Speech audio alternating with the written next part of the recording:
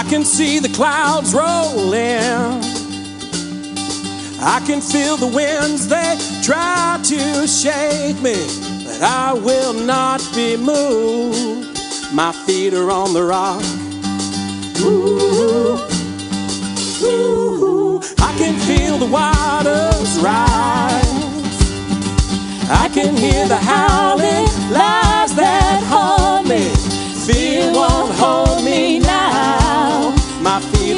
rock. When I feel my hope about to break, I will cling to your unchanging grace. Let the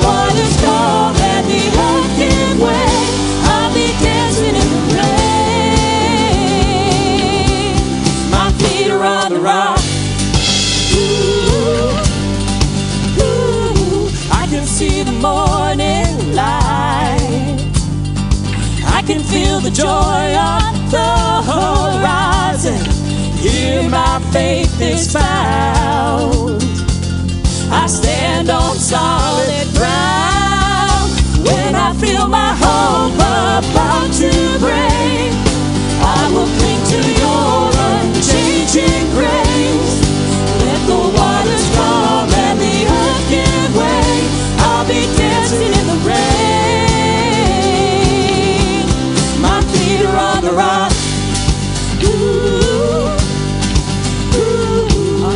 solid rock I stand, all of the ground is sinking sand. So stomp your feet and clap your hands, our feet are on the rock.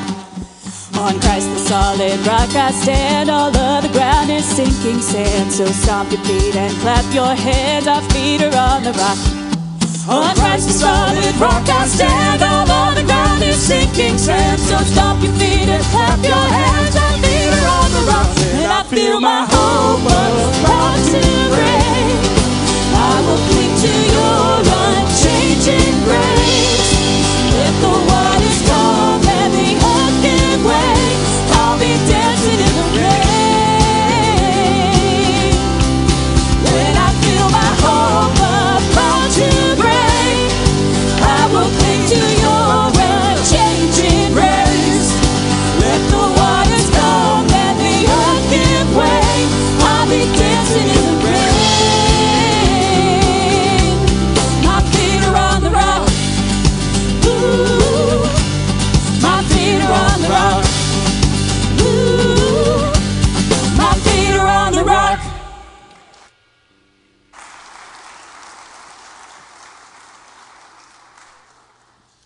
good morning. That's a good way to start out a Sunday morning. My name is Cody Pritchett, and I'm the youth director here at Christ Church. And I want to welcome you to Christ Church. If you're a first time visitor here, we want to especially welcome you. It takes a lot of courage to come to church and be in a new place. So, God welcomes you, and so do we. Last week, Pastor Nathan was talking about having a long term impact on the next generation. And he gave us a couple of opportunities. And I wanted to share that there are a couple opportunities for the youth ministry for you to be able to serve whoever you are, wherever you're at. And who are we looking for? We are looking for caring adults who love students and want to impact them with their money, with their presence, with their time, and with their gifts. We're not looking for cool people. We're looking for caring people. We're not looking for relevant people. We're looking for relational people who just love young people. There was a study done recently that, that talked about the number one factor that impacts teenagers. And do you know what the number one thing that teenagers are impacted by is relationships. And teenagers who stick with Jesus and start with Jesus have one thing in common they have five meaningful Christian relationships. So I want to invite you guys, someone here, uh, someone who's listening, to come join our youth team and be one of those five meaningful relationships. If this moves your heart, a good next step for you would be to send me an email. Um, my email is pretty simple it's youthdirector at christchurchchat.org, or you can call the office and ask for me. It comes right to my cell phone. So if you're interested in serving with the youth and using your gifts and passions for the youth, please contact me. I would love to have you.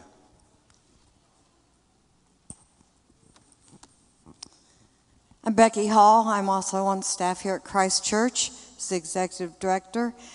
This is a really important way for some of you that might be looking for a niche, a way to serve. Um, have another opportunity for you. Um, some of you have probably seen in your bulletin or maybe on Facebook that starting September 5th, we're going to be starting a new Thursday evening service. We are very excited about this. It's a huge endeavor. Um, it will be held down in the Commons from 6:30 to 7:15. It'll be just kind of a relaxed, uh, contemporary style service. Uh, the message will be different than the one on Sunday morning, but we know a lot of our folks travel on the weekends. Uh, several people work, or at least work some Sundays. So, this is an opportunity for them to be able to attend their church and worship, invite neighbors, people that um, Sunday morning just doesn't work out for. But what we need from you is we're asking for 50 volunteers who will continue to worship on their Sunday service, but also commit to attending that uh, Thursday evening service from 6:30 to 7:15. We need a faithful core of people who will help us launch this service. Um, it, you will be blessed. You will get to meet new folks. And so, if you are interested in that, we have sign up sheets out at the uh, information desk and or just call the church office. We'd like to have your name so we can kind of keep up with who's committing. And also now we have some other things that might be of interest for you uh, that in the life of the church.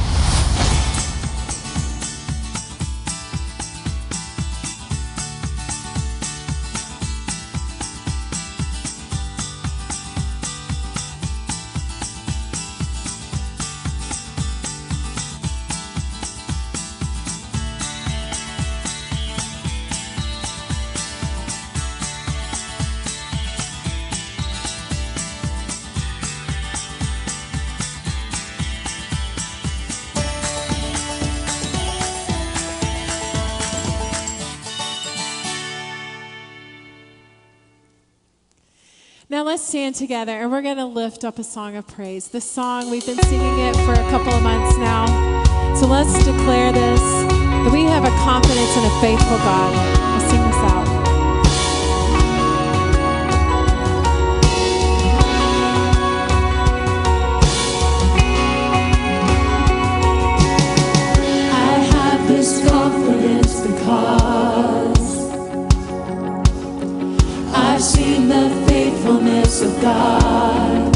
The still inside the storm, the promise of the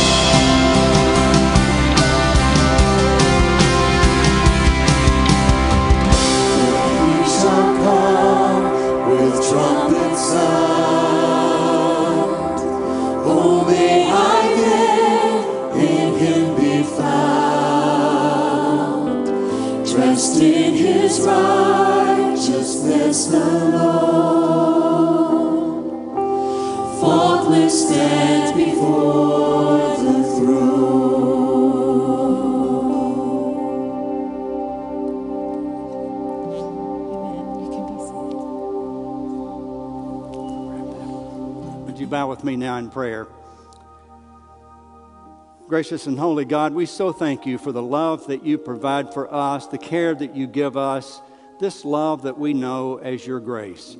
We thank you for the sacraments of the church that show us your grace in special and holy ways.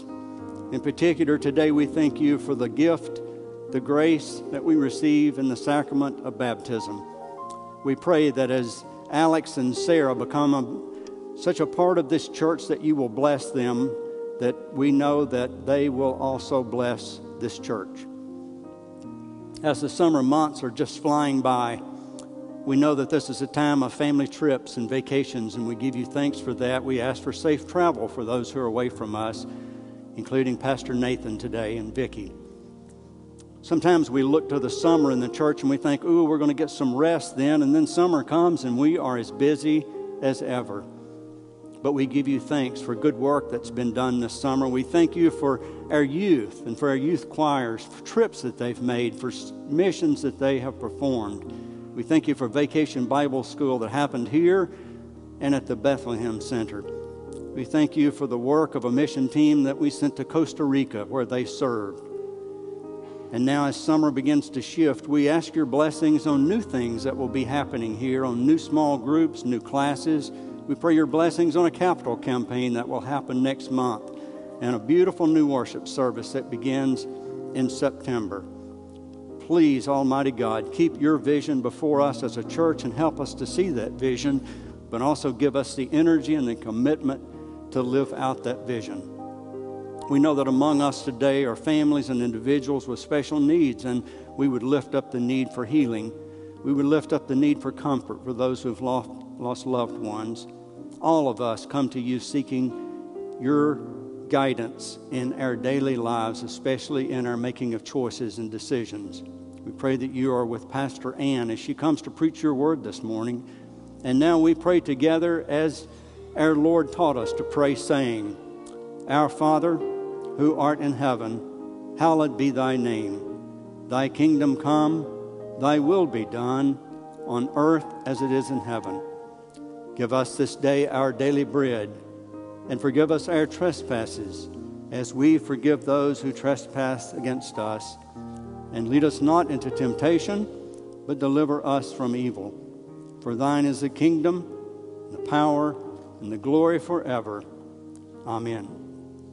It's my pleasure today to introduce to you our preacher for the day, the Reverend Ann Robbins. Uh, Pastor Nathan has earned a vacation, and he and Vicki are in Florida today. But before he left, he arranged for this guest preacher for us, someone that he knows very well. Uh, Ann has degrees from a number of schools, including Vanderbilt. She, um, she got her seminary degree from another denomination. I won't say which, but it begins with a B. And, uh, but she finished it up. She rounded it out with that good old Methodist seminary over at Duke University. She has pastored a number of United Methodist churches in our conference, most recently, Ebenezer United Methodist Church. Today, she is the district superintendent of the Tennessee Valley District, which is headquartered in Knoxville. Would you welcome Pastor Ann Robbins?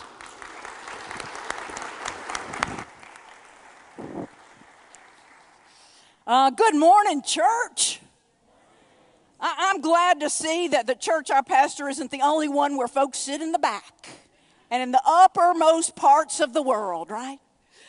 Uh, it is a joy to be here with you this morning. We're talking today about difference makers.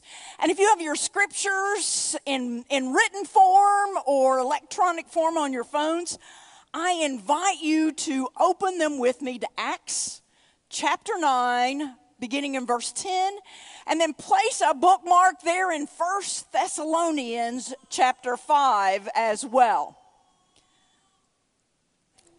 Will you pray with me just a moment? Jesus, we know you're right here in this space. But God, we know that you don't come where you're not invited. So right now, I invite you. And I ask for these folks to agree with me too that we invite you into our thinking and that you will speak truths into our hearts and into our minds and into our lives. God, we ask you to speak to us today and your powerful words of wisdom for life. In your name, we give thanks. Amen.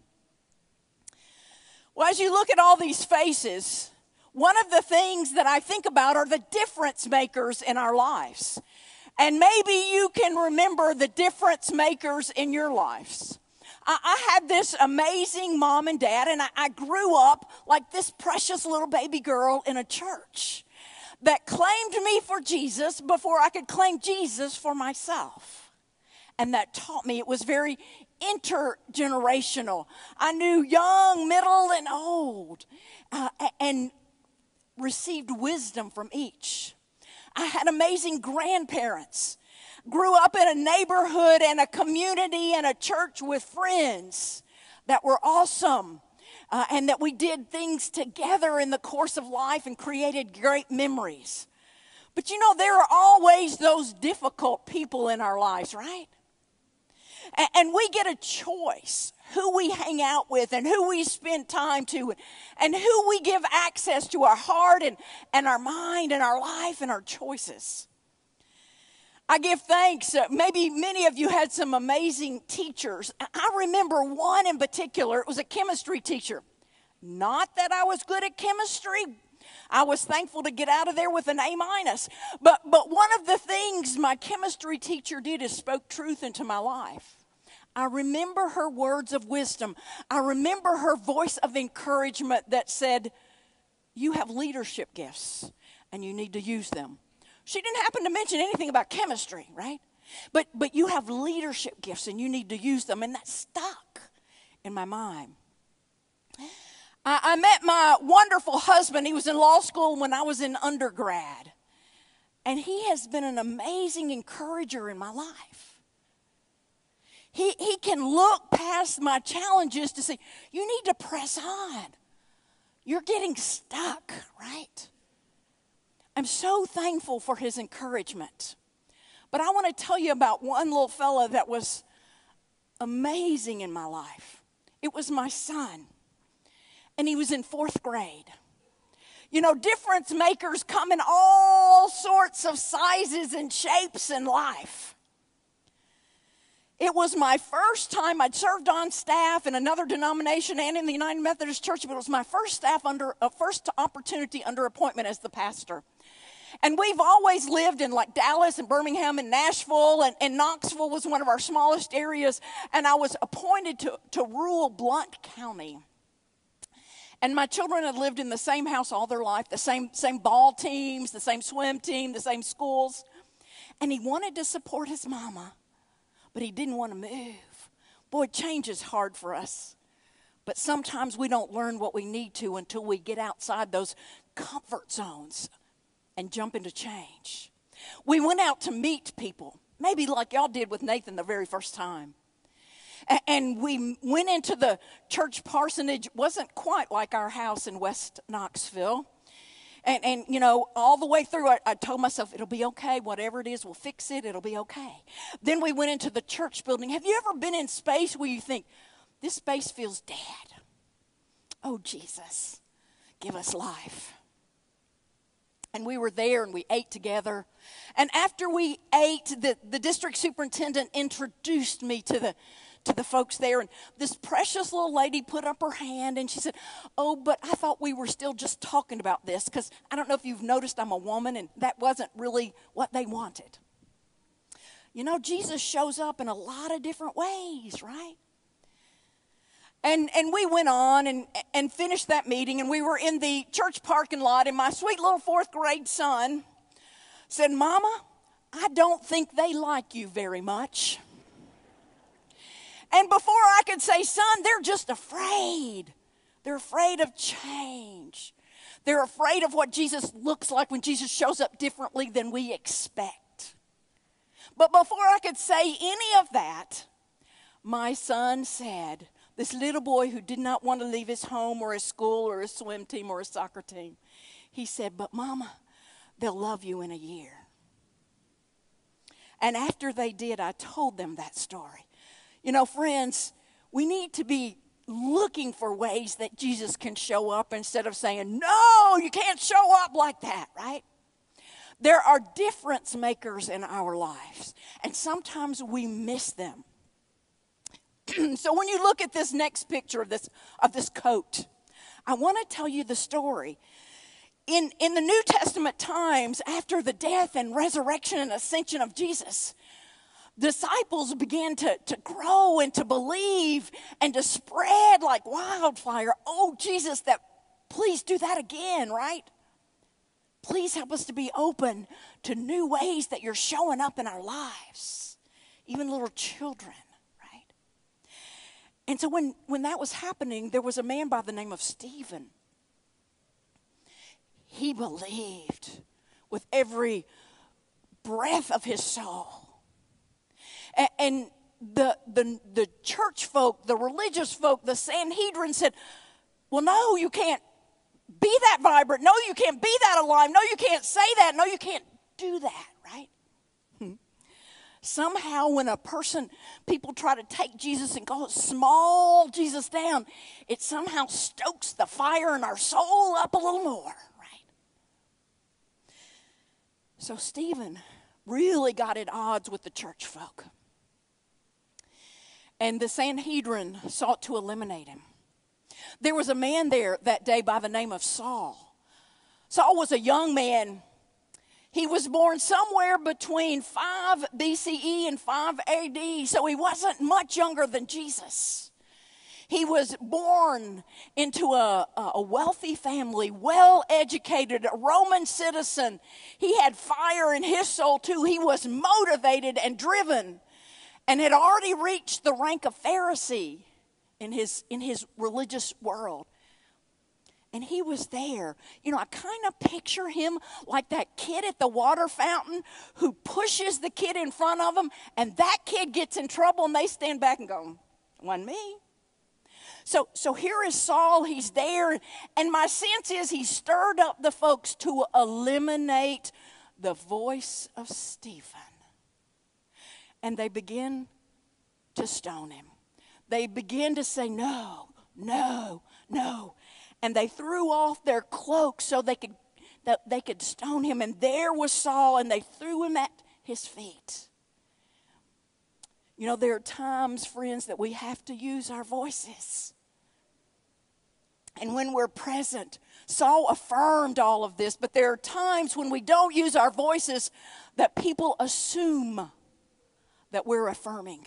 And we need to find our voice. And sometimes say yes and sometimes say no. But to say nothing implies we agree. And one of the things that Stephen said as he was bleeding, as he was being killed, was God, forgive them. And do not hold this sin against them. Can you imagine this young Saul here and go, I have instigated, I have encouraged this man to be killed, and his belief is so strong and so powerful. He's asking God not to hold this against me. Oh, I believe that planted seeds for what happens next. And, and you remember the amazing conversion of Saul. He, he went to the, to the religious leaders and, and, and he said to them, as you look at this black screen, right? Just black. He went to this religious leaders and he said to them, he wanted permission to go to the city of Damascus and find all of the believers and, and, grab them and pull them out and throw them in jail. You see, at this time, the Jewish leaders were, were in their small area the same as the political leaders in so many ways. They had that authority and power within the Roman structure. So he went with a letter. So much so, and they didn't even have news, right? They didn't have TV and they didn't they didn't get it on their phones and their watches. They knew about this guy and they were afraid. They were afraid. So here is Saul, young Saul, and, and his followers, and they're on their way to Damascus with this paper that gives him authority to end lives or put people in jail for believing just like Stephen. And they have heard what happened to Stephen. And there was a great persecution of the church after what happened to Stephen. And the people, the believers, spread throughout the world. You see, one of the things God has been teaching me is not to be afraid of hard times. Two years ago, my husband was diagnosed with cancer.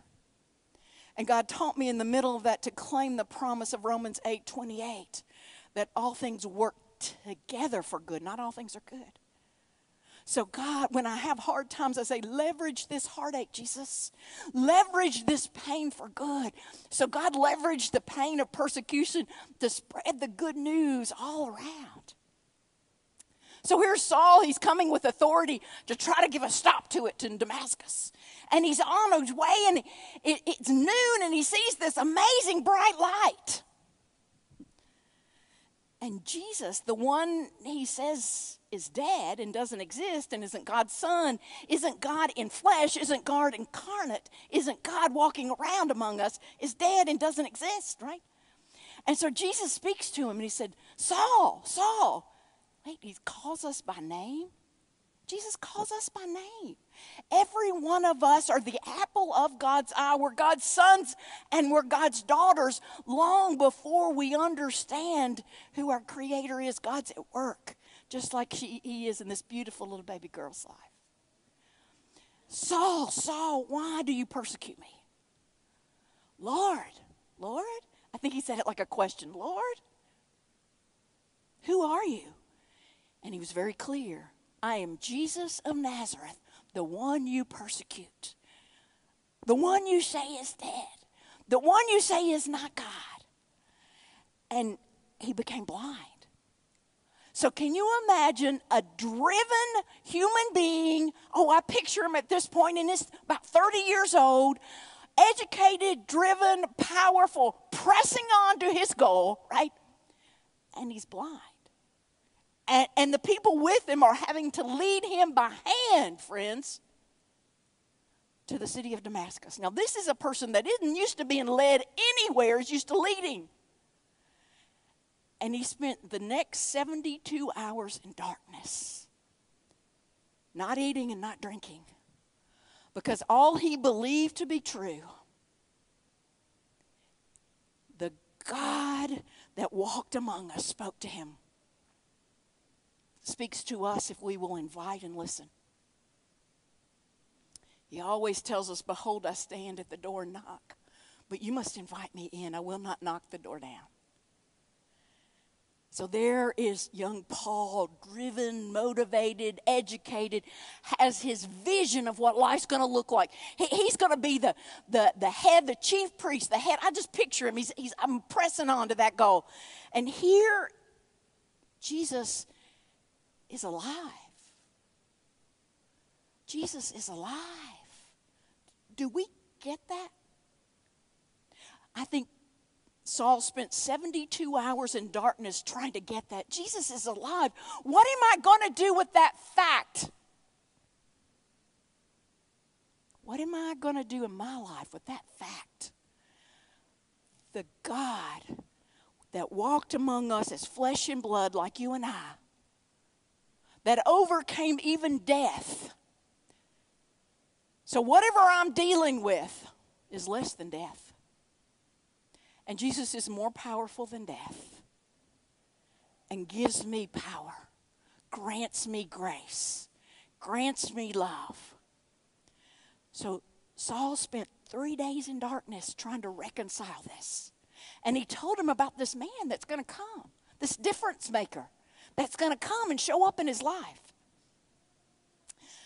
So in Damascus, there's this man, and his name is Ananias. And the Lord called to him in, in a vision Ananias. Wait, call him by name again. Isn't that cool? God knows his children by name. Whether we believe or not, God is calling us by name. It's not that God's not calling, it's that we're not listening. Ananias. Ananias is listening. Yes, Lord. Yes, Lord. He answered. The Lord told him, Go to the house of Judas on Straight Street and ask for a man from Tarsus named Saul, for he is praying. In a vision, he, Saul, has seen this man, you, Ananias, coming and I want you to place your hands on him and restore his sight. You know, friends, he literally couldn't see, but the truth is, we all have some levels of, of blindness and darkness in our soul that we're not seeing. And God, we're asking you to help us see what we cannot see. Restore and healing us to the person you've made and created and gifted us to be. But I love Ananias' response. So he's about to say, Well, in case you didn't know, Lord, this guy Saul is bad news. And I need to be running the other way from him instead of going to him, right? Just in case you didn't know, God, let me just kind of explain this to you. It's the yes, but. Do, do any of you do that?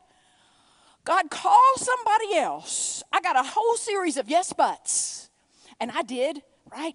But my difference maker, my husband, which is a, a, lawyer, preacher, oh, and I tell you, that makes for a real challenging combination.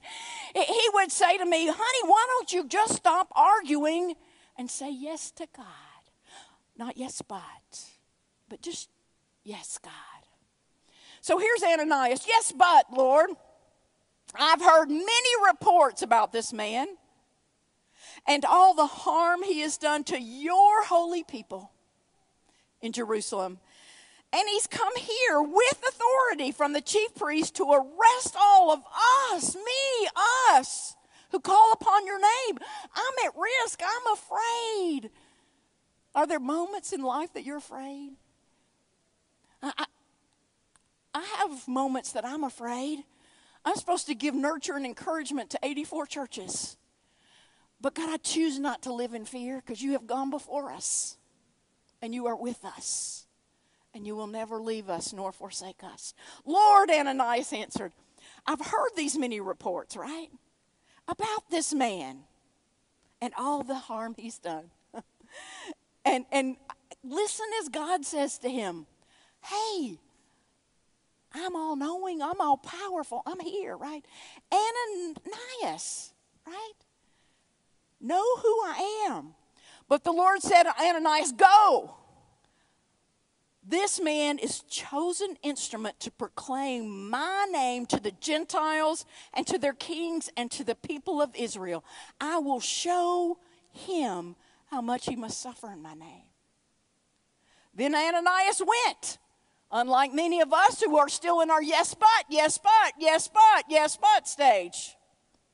Then Ananias went to the house and he entered it and he placed his hands on Saul.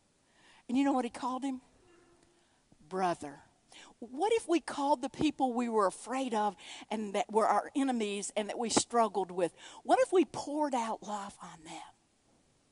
And, and, and what difference making could it be in, in the world and in our relationship? The first thing he said to Saul was brother.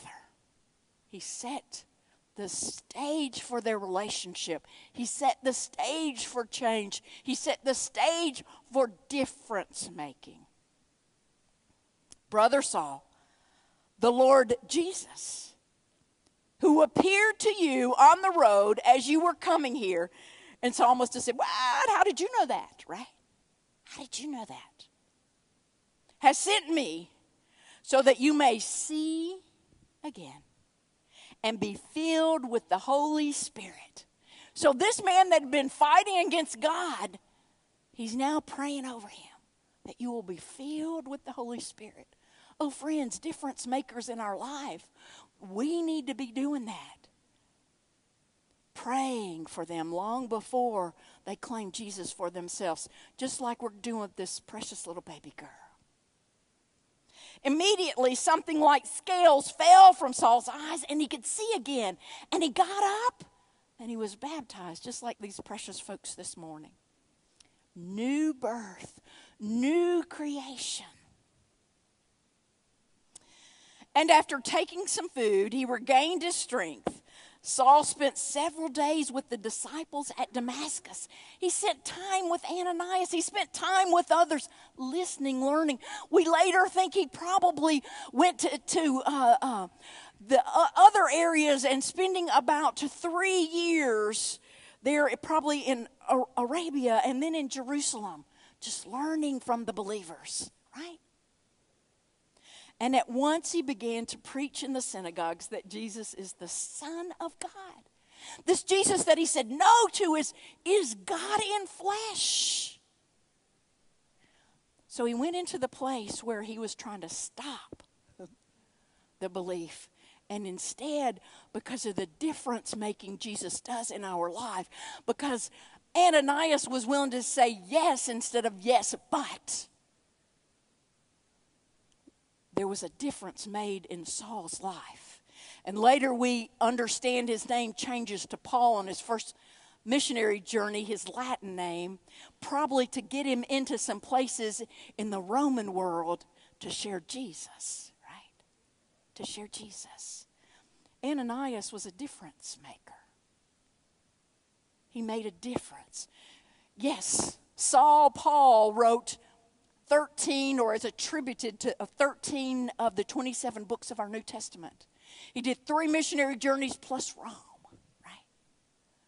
He, he gave rise to the, in the, the people of Galatia when this new thing called the church, this new movement, God started, right? God started. This thing is not ours, it's God's thing. Bring revival and press our souls, God. Stir us to be difference makers. Stir us to hang out with people that are difference makers. During my learning years as, as a clergy, there were two folks, two ladies that were in churches much larger than I. My goal was to have lunch with them about every other month, to press them, to learn from them. It was some of the best tuition money I ever spent. Who are the people you need to be spending time with that can speak truth into your soul? Who are the people you need to put some distance in your life, right? So here's what difference makers do they bite their tongues, right? They bite their tongues. They think before they speak, right? They bite their tongues. And quickly, difference makers are quick to forgive because we've been forgiven. What right do we have not to forgive others when we are God's beloved children, forgiven, full of grace and love. They stop. They stop saying negative, hurtful things, right? Zero, there's zero gossip in their lives. Difference makers understand that gossip's not just not saying something that wasn't true. That's what I thought. That you could certainly say the truth. No, gossip is anyone who's a part of the problem. The only time you should speak of something is if you're part of the solution. Otherwise, stop. Difference makers are upbeat. They're looking for things. They're intentional to see things half full, not half empty. They're looking, difference makers are looking for things that I can say, well done. That was amazing, right? I'm so proud of you. I would pray with my children every evening, and sometimes it would be really hard to find something to say thankful for. But that was my goal. I am so thankful for you when you were kind to your sister or kind to your brother. And they keep it real. Folks know when you're not real and honest about the compliments. And difference makers start they hang out with folks that make a difference maker in them. So I love this little Dr. Seuss quote, right? It's about being different. Today you are you, and that is truer than true. There is no one alive who is truer than you. However, friends, being a difference maker isn't just being different. Being a difference maker is leading difference as you look at these apples. It's leading difference, it's speaking truth and love, it's calling folks brother, it's engaging folks. And it's hanging out with folks that make a difference in you. Who are your difference makers? I encourage you this week to write them a note, send them an email, send them a text, say, hey man, I, I just need to thank you for being you. And, and then look around at people you want to hang with that you can learn from, right? And then you say, Who do you want me to speak truth in? Maybe I need to be on the floor building blocks with the children around here, going on youth events. Maybe I need to be a part of that new worship service. Who can I be a difference maker for, Jesus? So, will you hang out with folks that make a difference in you? And will you make a difference in others? Paul writing Saul, transformed by an amazing God, writing to the church at Thessalonica, writing to us, says, So continue encouraging each other, building each other up, just like you're already doing. I can be, you can be a difference maker. Will you pray with me? Jesus, as we prepare to offer you our hearts and our minds and our souls, and the ways you have blessed us financially, and God, the gift of time, show us today how we can give back and offer to you what you've so graciously done to and for us. In your name, Jesus. Amen. At this time, we're going to continue in our worship and responding to God through the giving of our tithes and our offerings. And um, I need you to do a couple of things as we do this. Um, there are also attendance pads. We're going to use the red ones. And if you'll just let us know that you're here, we love to stay connected with you. And this is one way that we can. And um, as these attendance pads are being passed, our offertory moment for today is super important. Um, this church is a community church. And it was just said this week that this church is like Grand Central Station, and it really is. If you're here during the week, you'll see maybe a dance team here practicing, or um, Hamilton County Schools having some kind of professional development here. You name it, it probably happens here. And we're so thankful that through your generosity that we're able to open our building up to the community. So let's continue in our tithes and our offerings. There is a truth older than the ages. There is a promise of things yet to come. There is one born for our salvation.